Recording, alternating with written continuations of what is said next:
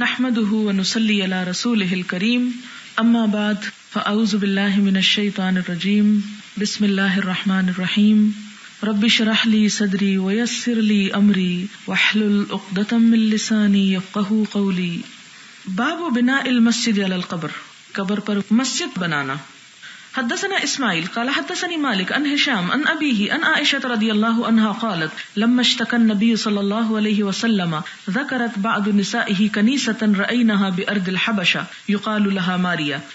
वकानत उम सलमत व उम हबीबत रदी अल्लाह अनहुमा, अतता अर्द हबशती, फजकरता मिन हुस्निहा व तसावीर फीहा। ये किस्सा पहले गुजर चुका है कि उम्म हबीबा और उम्म सलमा जो हुजूर सल्लल्लाहु अलैहि वसल्लम की अजवाज मुतहरात थी, ये हबशा की हिजरत के लिए गई थी और वहाँ उन्होंने एक बहुत बड़ा चर्च देखा, जिसका नाम मैरी चर्च था और उसके अंदर जो खूबसूरती थी और उसमें जो तस्वीरें थी, उसका ज़िक्र हुजूर सल्लल्लाहु अलैहि वसल्लम से आकर किया। तो आप सल्लल्लाहु अलैहि वसल्लम ने क्या किया? फरफा रसहू। आपने अपना सर उठाया। शायद लेटे हुए थे या बैठे हुए थे सर झुका के तो आप यानी अलर्ट हो गए। फ़काल, आपने फरमाया उला इदा मात मिन ये वो लोग हैं कि जब उनमें से कोई नेक शख्स फौत होता, बनऊ अला कब्र ही मस्जिदन तो उसकी कब्र पर वो एक मस्जिद बना देते। सुम्मा सवरू फ़ी ही फिर उसमें उसकी तस्वीरें बना देते। दिल का सुवर तो ये हैं वो सूरतें। उलाय का शिरार खल्क इंदल्ला ये लोग अल्लाह की बदतरीन मखलूक हैं। इससे क्या पता चलता है कि इन कामों को आप सल्लल्लाहु अलैहि वसल्लम ने नापसंद फरमाया। किन किन कामों को? ये जो बनी इसराइल करते थे, क्या करते थे? आपने फरमाया उन लोगों का तरीका ये था कि जब उनमें कोई नेक शख्स फौत हो जाता तो उसकी कब्र पर मस्जिद बना लेते। मस्जिद में उसकी तस्वीर रखते। अल्लाह के नज़दीक ये लोग सारी मखलूक से बदतरीन है। हम क्या कर रहे हैं आजकल? हम क्या कर रहे हैं? हम भी तो यही कर रहे हैं कि अगर कोई नेक शख्स फौत हो जाता है तो उसको वहीं पर दफन कर देते हैं और फिर उसकी तस्वीरें हर हर घर में पहुँच जाती हैं। आप देखें कि बहुत सारे घरों में आपको बहुत दाढ़ी वाले बुज़ुर्ग, बारिश लोगों की तस्वीरें लटकी हुई नज़र आएँगी। उनसे पूछा जाए कि ये कौन है तो बताते ये फुलान एक हज़रत है। और हो सकता है कि जहाँ वो मस्जिदें बनाते हैं, उसके आसपास भी कुछ ऐसे हुजरों में रखी हुई हो ऐसी चीज़ें अब। अल्लाह ही बेहतर जानता है, लेकिन ऐसा काम करने पर आपने क्या फरमाया? बदतरीन मखलूक। लेकिन अफसोस के लोगों के पास ये इल्म ही बाकी नहीं रहा कि वो देख सके कि बेहतरीन और बदतरीन की तफसीर क्या है या फ़र्क क्या है उनमें। एक और बात जहन में रखिए कि ये तर्ज अमल यहूद नसारा के तर्ज अमल से मिलता जुलता है। यहाँ मैं ये बताना चाहूँगी कि हमारे यहाँ ये चीज़ आई कैसे? इसकी इब्तदा बुरे तरीके से नहीं हुई, बड़े अच्छे तरीके से हुई। लेकिन आहिस्ता आहिस्ता वो ढल गई एक खराबी में। क्या थी वो खराबी? हमारे यहाँ जैसे बर सगीर में इस्लाम फैला, नेक बुज़ुर्ग बहुत जगहों से हिजरत करके यहाँ पर पहुँचे। वो आए। उन्होंने खल के खुदा को बेलौस तरीके से, बगैर किसी लालच, बगैर किसी गरज के, अल्लाह के करीब किया, अल्लाह की मोहब्बत उनके दिलों में डाली। उन्होंने कभी लोगों से नहीं कहा कि, लोगों, तुम हमारी इबादत कर उन्होंने दुनिया में लोगों से कुछ नहीं मांगा। तो उन्होंने बाद में क्या मांगना था उनसे? दुनिया में बेगरज होकर उनकी खिदमत की तो बाद के लिए तो उनको कोई लालच नहीं था। लेकिन हुआ क्या? वो जहाँ पर आके रहे, बसे, वहाँ मुख्तलिफ़ लोग उनकी मुलाकात को आते। आलिम लोग होते थे, वो मुख्तलिफ़ लोग उनसे तालीम हासिल करने के लिए आते। आहिस्ता आहिस्ता तालीम और सफ़र जो था वो इकट्ठा हो गया तो वो अपना सबील पे खर्च करना कुरान में बार बार उसका ज़िक्र है कि मुसाफिर पे खर्च किया जाए। और मुसाफिर अगर अल्लाह के रास्ते में निकला एक तालीम हासिल करने के लिए तो मजीद उस पर और हक बनता है उसका, उस पर खर्च करना और नेकी का काम। लिहाजा, दूसरी तरफ़ जो बस्ती के लोग होते थे या आस पास रहने वाले वो उन लोगों पर एतमाद करते थे। तो वो जो कुछ नेकी का काम करना चाहते, कोई माल खर्च करना चाहते तो बजाय इसके कि अपने हाथ से किसी को दें, वो वहाँ उनके पास ले जाते कि आप इस माल को अल्लाह के बंदों पर, हमारा नाम लिए बगैर आप खर्च करते रहे, जो भी आपके पास तालब इल्म आए या मुसाफिर आए। आहिस्ता आहिस्ता वो जगह फिर रबातात का लफ्ज आता तारीख में। रबात रबात बन गई, इल्मी मराकज बन गए, सराय बन गई मुसाफिर खाने एक तरह से बन गए। और लोगों का एक मरकज बन गए। वहाँ पर मस्जिद भी होती, क्योंकि मस्जिद तो एक सेंट्रल प्लेस है मुसलमानों के सोशल सारे सिस्टम सेटअप में। मस्जिदें होती सात मदरसे। यही वजह है कि आप जितने भी ये ममालिक हैं, इन सब में आप देख सकते हैं मस्जिद और मदरसा साथ साथ। और हमारे मुल्क में भी कुछ कम नहीं ऐसा। मुझे शाम और तुर्की वगैरह में भी देखने का इतफाक हुआ, उन मदारस की बहुत कदीम तारीख है। तो उनके आज भी आसार मौजूद हैं। स्टडी के सिलसिले में मुझे देखने का वो सब इतफाक हुआ। तो वहाँ पर इसी तरह है कि मस्जिदें और साथ ही वसी तरीन रबातात और सराय और हॉस्टल्स के जिसमें लोग आके ठहरते थे, उन उलमा से इल्म हासिल करते, फिर वहाँ से चल के कहीं और चले जाते। वहाँ ऐसी ही जगह होती, वहाँ रहते, फिर आगे चले जाते, लोकल लोग भी आते, बाहर से आने वाले। तो चूँकि इल्म की एक बहार थी और एक एक्टिविटी थी, और मुसलमान भी अपना माल सबसे ज़्यादा इस काम पे खर्च करते थे कि इस काम को ज़्यादा से ज़्यादा आगे बढ़ाया जाए कि कोई जाहिल न रहे। लेकिन हुआ यह कि आहिस्ता आहिस्ता ऐसे बड़े नेक लोगों के बड़े बड़े उलमा के जो जानशीन आए, वो नाखलफ आए। यानी एक आलिम मर गया तो उसके पीछे बाजुका ये अल्लाह की मसलियत थी, मशीयत थी। इसमें यह नहीं कि उन लोगों का कसूर होगा कि वो पैदा ना कर सके ऐसे। अल्लाह चाहता है तो एक के बाद एक पैदा होता चला जाता, वो नहीं चाहता तो वो काम खत्म हो जाता। हुआ यह कि वो जगह जब एक मरकज की हैसियत इख्तियार कर गई तो उनको हटाया तो नहीं जा सकता था। अब इसके साथ साथ वो नेक लोग जब मर गए तो हुआ यह कि उनको आम कब्रिस्तान में दफन करने की बजाय उन्हीं मस्जिदों और मदरसों के पास दफन कर दिया गया। अब वो इल्म तो उनके साथ खत्म हो गया, जैसे हदीस में बार बार आप पढ़ रहे हैं ना, कि इल्म कैसे कब्ज किया जाता है? उलमा के फौत होने से खत्म हो जाता है। और फिर जो बाद में लोग उस पर तवज्जो नहीं देते, जाहिल होते हैं, वो असाब बन जाते हैं, भटकते हैं और भटकाते हैं। बहरहाल, अब हुआ ये कि जब ये नेक लोग, आलिम लोग जो थे, ये फौत हो गए और कब्रें उनकी वहाँ बन गई तो लोगों ने उनकी कब्रों पर इस अकीदत से आना शुरू कर दिया कि हमें इनके ज़रिए हिदायत मिली थी, लिहाजा ये हमारे लिए बहुत इंपॉर्टेंट हस्तियाँ हैं। लिहाजा हमें इनकी कब्र के पास बैठ के तस्कीन मिलती है, हमें रूहानी सुकून मैसर होता है। लिहाजा वो एक इल्मी एक्टिविटी वो जो एक काम खैर से शुरू हुआ था, वो शैतान उसको बिगाड़ के बिल्कुल दूसरे रंग पे ले गया। और बजाय इसके कि वो इल्म और वो असल, आप देखें कि अगर किसी बुज़ुर्ग को बुजुर्गी मिलती है तो उसका जाती कमाल तो नहीं। किसी आलिम को अगर इज़्ज़त मिलती है तो उसका जाती तो कमाल नहीं तो अल्लाह की नेमत है जो उसको मिली। अल्लाह का एहसान है उस पर। तो असल चीज़ तो अल्लाह ताला की जात है ना, कोई इंसान तो नहीं। ठीक है, इंसान से मोहब्बत इंसान करता है तो अल्लाह की खातिर करता है। और उसकी रूह से मोहब्बत करता है। और उसके तर्ज अमल से और उसके उन तमाम चीज़ों से, ना कि वो एक मट्टी के बुत से। ठीक है कि मट्टी का बुत उस रूह को लिए हुए होता है, इसलिए उस बुत से भी मोहब्बत होती है। वो लाजिम मलजूम होती हैं दोनों चीज़ें, लेकिन असल चीज़ तो अल्लाह ताला की जात है। किसी इंसान के पास ये कुरान ना हो, ये सुन्नत रसूल सल्लल्लाहु अलैहि ना हो, ये उलूम ना हो तो कहाँ से अपनी इज़्ज़त बना सकता है? कहाँ से उसकी कदर कीमत बढ़ सकती है?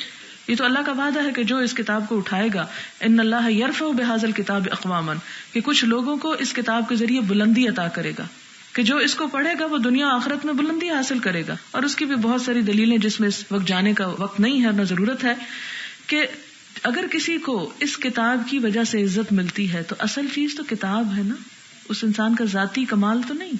अब मुश्किल ये हुई कि जब वो लोग मर गए तो लोगों ने उन तालीमात को तो बुला दिया, जो उन लोगों की ज़िंदगी का मकसूद था, और पड़ गए उन्हीं के पीछे। उन्हीं की कब्रों को फिर असल मरकज बना लिया रफ्ता रफ्ता ये जगह किस चीज़ में कन्वर्ट हो गई? खैर की बजाय एक ऐसे काम में इस्तेमाल होने लगी कि वो खाने पकाने के सिलसिले भी जारी रहे। अब भी आप देखें ना कि लोग मखसूस जगहों पे जाकर ही खाना देते हैं। वो वो पिछली रिवायत चली आ रही है दरअसल। उनका मकसूद ये भी नहीं होता कि बाजू को शिरक भी नहीं वो कहते हैं कि वहाँ पर लोग होते हैं, इसलिए हमें देने में आसानी हो जाती। और फिर साथ ये मुश्किल हुई कि वहाँ जो लोग आए, उनमें से बहुत से लोग तो उन बुज़ुर्गों से मोहब्बत रखते थे। कुछ लोग फिर सुनी सुनाई और फिर कुछ करामतें और बहुत सारे ऐसे बेअसल चीज़ें दीन में मंसूब कर दी गई कि जिससे कुरान और सुन्नत और हजूर सल्लल्लाहु की जात तो एक तरफ़ रह गई और वो सारा एक खेल बन गया। वो कब्र एक मरकज बन गई, उसकी पूजा एक असल बन गई और उसके इर्द गिर्द घूमना और उसकी इबादत और फिर उसमें कुछ लोग उन कब्रों के मुजावर पैदा हो गए। कुछ उनकी औलाद में से, कुछ उनके लवाहिकीन, उनके शागिर्दों में से, उनके मानने वाले मुरीदों में से और उन्होंने उन कब्रों को एक तजारत का ज़रिया बना लिया। और वो माल जो लोग लाते थे उन लोगों के पास के खल के खुदा पे खर्च किया जाए, वो माल उन गद्दी नशीनों ने अपने बैंकों में डालना शुरू कर दिया। कुछ थोड़ा बहुत खल्क पे भी खर्च किया और साथ बहुत सा जो है वो अमेरिका और बरतानिया में बहुत से मकान खरीद के और ऐशो इशरत के जगह बना के तो वहाँ उनकी औलादें तफरी करने के लिए चली जाती। ये इस्लाम की रूह नहीं, लेकिन यहाँ तक हम पहुँचे कैसे? ये इन तरीकों से पहुँचे। अब आप ये तो नहीं कर सकते कि इन सब जगहों को मिटा दें। ये फिर एक अफरात तफरीत होगी। अब करने का काम क्या है कि इन्हीं जगहों को, उन कामों के लिए ज़िंदा करें कि जिनके लिए ये असलन बनी थी। उन लोगों को दुश्मन बनाने की नहीं ज़रूरत। और ये करने की ज़रूरत नहीं कि तुम सब बुरे हो, फासिक हो, फाजिर हो, मुशरक हो, फलां हो, फलां। वो खुद भी नहीं जानते कि उन्हें क्या करना चाहिए। वो जब एक बिगाड़ आ जाता है तो वही असल बन जाती, वो शर, वो खैर बन जाता है। उनको खुद भी नहीं पता होता कि वो क्या कर रहे हैं। लिहाजा ज़रूरत क्या है कि उन्हें उनकी असल पर ले जाया जाए कि जिस बुज़ुर्ग की कबर से तुम खा रहे हो और जिसकी वजह से तुम शान बनाए हुए, उस जैसा कोई काम तो करके दिखाओ। उनकी पैरवी तो करो। आओ वही मिलके वही सुन्नतें ज़िंदा करें जो उन्होंने आके यहाँ ज़िंदा की थी। उन्होंने यहाँ के हिंदू और मुशरक लोगों को मुसलमान बनाया था। और हम, हमने लोगों को ऐसे ही जाहिल छोड़ दिया। आओ उस इल्म को दोबारा से ज़िंदा करें और उसको सरवाइव करें। जब तक ये कोशिश नहीं होगी, उस वक्त तक ये रुख हवा का नहीं बदलेगा। सिर्फ़ चंद लोगों के कहीं बैठकर बहुत सोफिस्टिकेटेड अंदाज में इंटेलेक्चुअल गुफ्तगु करने से अवाम की सूरत हाल नहीं बदल सकती। माशरे का रुख नहीं बदल सकता। इसके लिए उन जगहों पे सिर्फ़ तनकीद करने की बजाय और उन पे लान तान करने की बजाय और उन्हें मुलामत करने की बजाय जाए उनसे हमदर्दी करें, उनसे मोहब्बत के साथ पेश आए और उनके अंदर वो ईमान जगाएँ कि जो बहुत सी चीज़ों के गर्द गुबार के साथ बहुत नीचे चला गया है। तो यहाँ पर क्या बताया गया? बताया ये गया कि ऐसी जगहों पे जहाँ कब्रें हों, मस्जिदें न बनाई जाएँ, क्योंकि मस्जिद इबादत की जगह है। कहीं ऐसा ना हो शैतान बहका के, बहला के, क्या कर दे तुमको? तुम्हें खुदा भुलवा के उस शख्स का सजदा करवा दे। मैंने एक शेर पढ़ा था कुछ अर्सा पहले कि ख्वाजा के दर पे सजदा रवा है। हकीकत में ख्वाजा खुदा है। पता नहीं इस तरह का मुझे याद कभी नहीं रहा शेर, लेकिन इस किस्म का शेर था कि वो मोइनुद्दीन चिश्ती का जो मिजार है, उस पे हमको सजदा जायज़ है क्योंकि हकीकत में देखो तो ख्वाजा खुदा है। ख्वाजा के दर पे सजदा रवा है, कोई ऐसी बात है। तो उसका माना क्या है कि हमको चूँकि ख्वाजा ने खुदा से मिलाया कई लोगों को मैंने ये तक कहते सुना कि वो कहते हैं जी आप ही हमारे माई बाप हैं आप ही नहीं तो हमें तो खुदा तक पहुँचाया हमारे लिए तो खुदा आप ही हैं। नवजुबिल्ला यहाँ तक लोग कहते हैं चूँकि आपने हमको खुदा का रास्ता दिखाया लिहाजा किसी ने कहा खुदा आप में हलूल कर गया और मुख्तलिफ़ तरह की खुराफात शुरू हो गई। लिहाजा वो जो बात एक मैं कहा करती हूँ सद्दे ज़रिया ये सद्दे ज़रिया में से है कि ऐसा कोई काम जिससे लोग शिरक की तरफ़ माइल हो जाएँ, शिरक की तरफ़ चल पड़े उन जराये को बंद कर दो। अब जो हो चुका सो हो चुका। अब उसको आप ये तो नहीं कर सकते कि ये वहाँ से या मस्जिद ढा दें या कब्रें ढा दें। आप दोनों ही चीज़ें नहीं ढा सकते। वो जो बननी थी बन गई। लेकिन वहाँ जो खल खुदा बैठी है, उसके साथ हमदर्दी करें। बाप, मन यद खुलो कब्र अलमर अति कौन उतरेगा औरत की कब्र में? यानी क्या महरम ही उतरेंगे या ना महरम भी उतर सकता है? यानी मिसाल के तौर पर अगर किसी औरत को दफनाने के लिए घर वाले ये चाहते हैं कि कोई नेक शख्स उसको कब्र में उतारे तो क्या वो ऐसा कर सकते हैं? जबकि उसका भाई या बाप भी मौजूद हो। तो हम देखते हैं हदसना मोहम्मद उबन सिनान काल हदसना फुलैह उबन सलेमान हदसना हिलाल उबन अली अन अनस रदी अल्लाह अनहु काल, शहिदना बिनत रसूलुल्लाह सल्लल्लाहु अलैहि वसल्लम, व रसूलुल्लाह सल्लल्लाहु अलैहि वसल्लम जालिसन अलल कब्री। साहब कराम में हज़रत अनस कहते हैं कि हजूर सल्लल्लाहु अलैहि वसल्लम के साथ आपकी साहबजादी के जनाजे पे हाजिर थे और आप कब्र पर बैठे हुए थे। फर आई तो आई नहीं ही तदमानी मैंने देखा कि आपकी दोनों आँखें आंसुओं से भरी हुई हैं। फ़काला तो आपने फरमाया हल फ़ी कुम मिन अहदिन लम युकारिफ क्या तुम में से कोई ऐसा शख्स है जिसने रात को मैंने आपको पीछे माना बता चुकी हूँ कि इख्तराफ का माना मुर्तकब होना भी है ऐब लग जाना यानी कोई ऐसा काम तो नहीं किया जिससे वो ऐबदार हो गया हो फ़काल अबू तलहा अना अबू तलहा कहते हैं कि मैं हूँ काला फ़नजिल फ़ी कब्रहा तो कहते हैं कि उनकी कब्र में उतरो यानी आप खुद भी थे हज़रत उस्मान भी मौजूद थे और मैंने आपको बताया था कि एक या दो लोग कब्र में नहीं उतार सकते मुर्दे को वो तो गिर जाएगा उनके हाथ से, क्योंकि मुर्दा अपने तो कुछ भी नहीं कर सकता। लिहाजा आप वसल्लम बैठे थे, बड़े गमगीन थे, और बाजत ये होता है कि अपने रिश्तेदार इंतहाई गमजदा हालत में होते हैं कि उनकी जान अपनी निकली हुई होती है कि वो उठा के कोई बड़ा भारी काम करे। तो ऐसी सूरत में इजाज़त दी गई कि एक गैर मर्द भी औरत को उठा के कब्र में रख सकता है। ज़ाहिर है कि औरत लिपटी हुई है, कफन में है, और उसके साथ ही क्या मुर्दा जान है, मट्टी का ढेर है तो इसलिए उसको उठा के अगर वो रख दे तो उसकी इजाज़त है, इस हदीस से ये पता चलता है। अबू तलहा कहते हैं कि मैंने कहा, मैं तो आप सल्लल्लाहु अलैहि वसल्लम ने फरमाया अनजिल फ़ी कब्रहा, उसकी कब्र में उतरो। फनजल फ़ी कब्रहा फकबरहा। तो उनकी कब्र में उतरे और उन्होंने उनको कब्र में लिटाया। काला इब्नुल मुबारक, इब्न मुबारक कहते हैं, काला फुलह फुलह कहते हैं, अराहू, मैं समझता हूँ उसको, यानी अजम्बा के करफ का माना जम्ब है, गुनाह। काला अबू अब्दुल्ला अबू अब्दुल्ला इमाम बुखारी कहते हैं लियक तरीफू जैसे कुरान में आता लियक तसीबू इसका माना है गुनाह करना। बाबू असलाती अला शहीदी शहीद पर नमाज़ पढ़ना यानी शहीद पर भी कि नमाज़ जनाजा होगी कि नहीं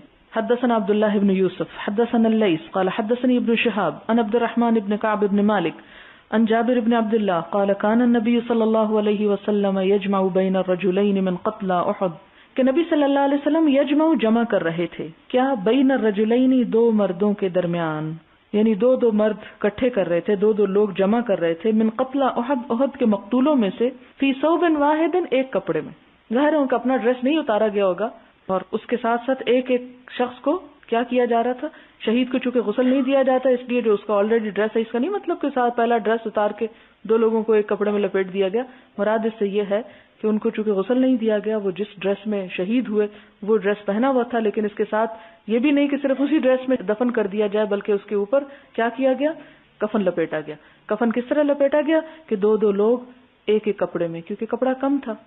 मुसबिन उमैर भी इसी में शहीद हुए, सर आपको मालूम है कि उनके सर ढांकते थे तो पाँव खुल जाते, पाँव ढांकते तो सर खुल जाते थे। इतने कपड़े नहीं थे मुसलमानों के पास कि वो सबको इकट्ठा दफना सकें अलग अलग करके। सुम्मा यकूलू फिर आप सल्लल्लाहु अलैहि वसल्लम क्या फरमाते? अयुहम अक्सर अखसन कुरान कि इन दोनों में से कुरान किसको ज़्यादा आता है? कुरान किसके पास ज़्यादा है? कुरान का माहिर कौन है?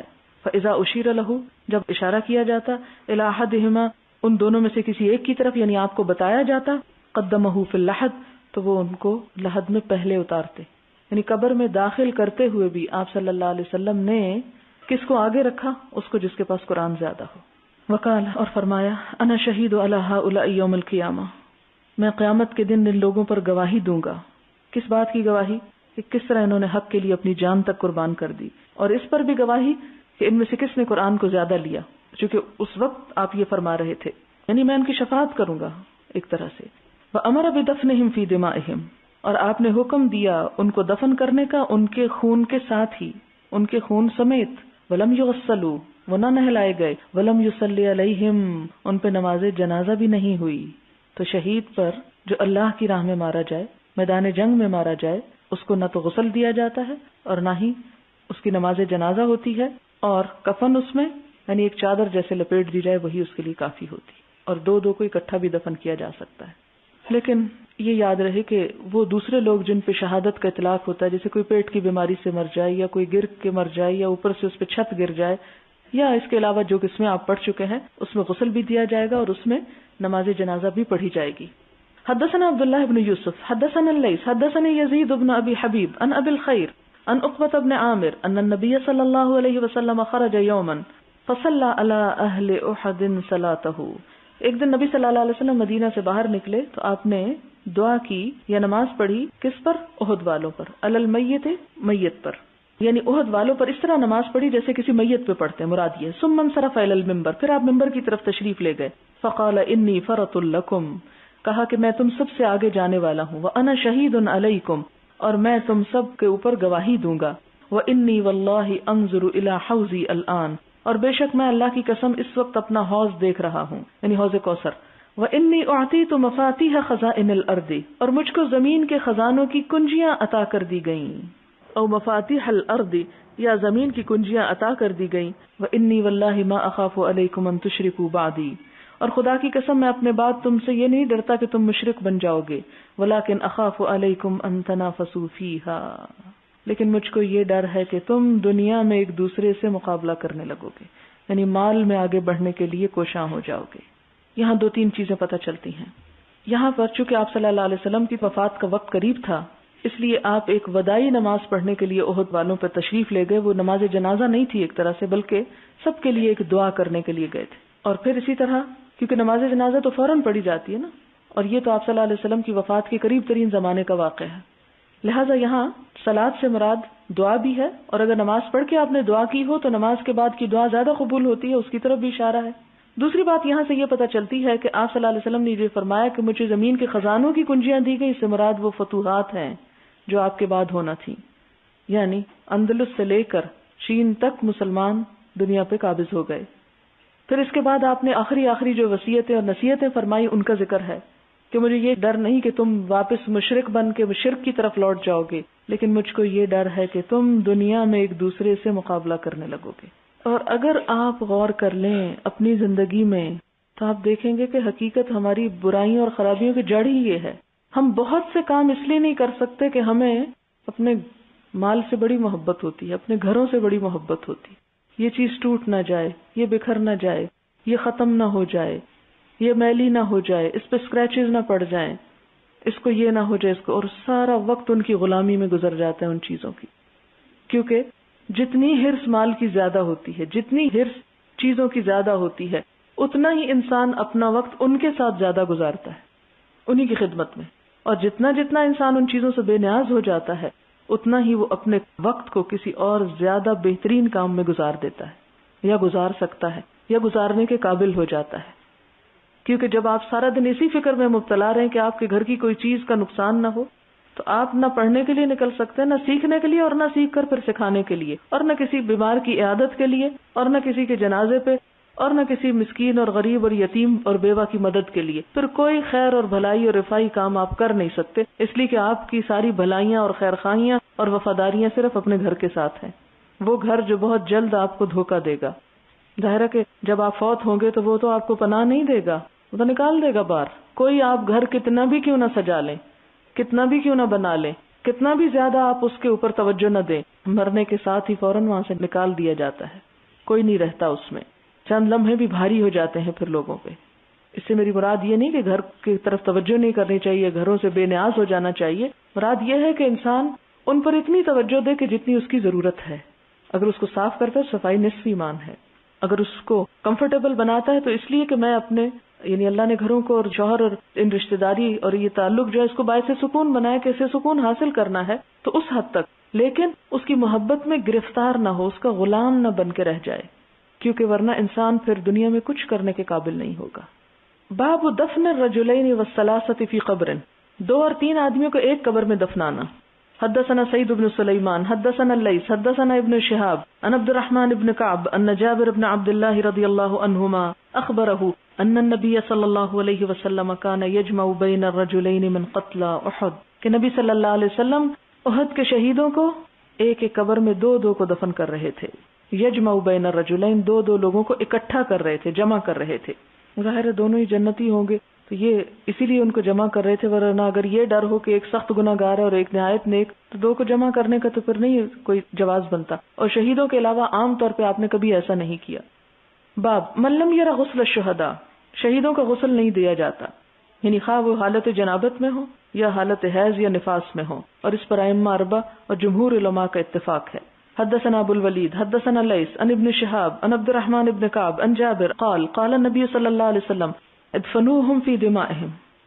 यानी योम अहद आपने फरमाया इनको इनके खून के साथ ही दफन कर दो उहद के दिन वलम युगसलम उनको गसल नहीं दिया एक और रिवायत में आता है हजरत हंजला थे कि जिनकी शादी हुई थी और उसी रात जंग का मौका आ गया और आप सल्लल्लाहु अलैहि वसल्लम की आवाज सुनकर फौरन ही लब्बैक कहा और मैदान जंग में पहुंच गए अब हुआ ये कि जनाबत की हालत में थे लड़ते लड़ते शहीद हो गए।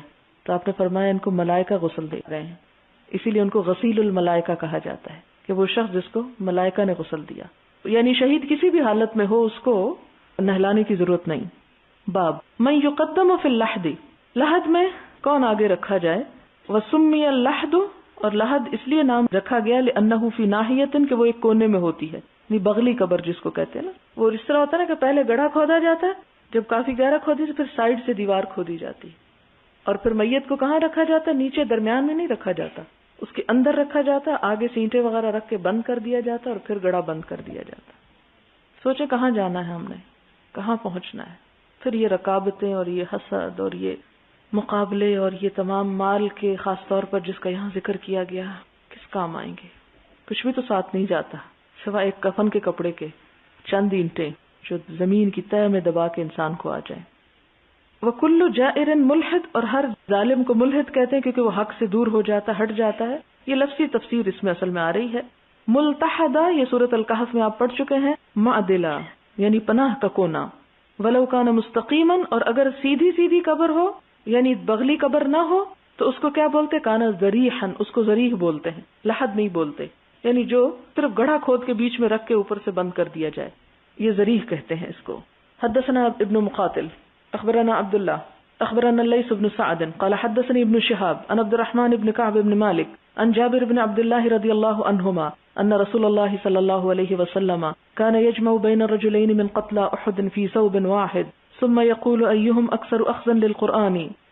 ये चूंकि बाब का नाम यह है कि पहले कब्र में किसको रखा जाए तो उस पे दलील ये लाए हैं कि अयुहम अक्सर अखजन लिल कुरानी कि इनमें से कुरान किसके पास ज्यादा था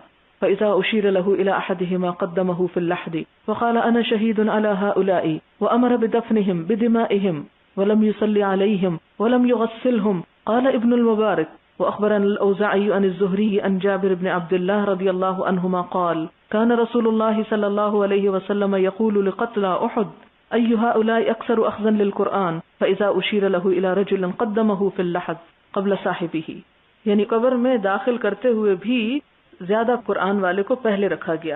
यानी उसे फौकियत दी गई, मुराद ये है। आगे किया गया, वकाल जाबिर फकुफिन अबी व अम्मी फ़ी नमिरतिन वाहिदा, कि मेरे बाप और चचा एक ही कंबल में दफन किए गए। वकाल सलेमान इब्न कसीर हदसनी मन समय जाबिर रदी अल्लाह यह हदीस दूसरी रवायत से भी आई है। असल बात यह है कि हम कब्र के बारे में बहुत कम सोचते हैं। और अगर कोई बात करे तो कहते मत डराओ। फुला का तो काम सिर्फ़ डराना है। कहते दुनिया को एंजॉय करने दो। लेकिन अगर कोई अक्लमंद हो तो ये ज़रूर सोचे कि आखिर तो वहीं जाना है। और वो सब कुछ जो बताया गया, वो बिल्कुल बरहक है, उसमें कुछ भी झूठ नहीं। आप देखेंगे कि नफ्स की इसलाह इससे बढ़कर और किसी चीज़ से नहीं होती। जिस तरह आप सल्लल्लाहु फरमाया कि इब्ने आदम को अगर एक वादी सोने की मिल जाए तो दूसरी की ख्वाहिश करे, और उसका पेट सिवाय मट्टी की किसी चीज़ से नहीं भर सकता। यानी उसकी सारी ख्वाहिशात वहीं जाके खत्म होंगी। और अगर इंसान दुनिया में जरा कभी कभार उसको याद कर ले तो बहुत सी आलाइशें खुद ब खुद निकल जाए। क्योंकि मट्टी भी आलाइशों को खत्म करती है ना। बाबुल इसखर वल हशीश फिल कब्र कब्र में खुशबूदार घास डाल देना और सूखी घास डालना क्या इसकी इजाजत है हदसना मोहम्मद उबन अब्दुल्लाह इब्न हौशब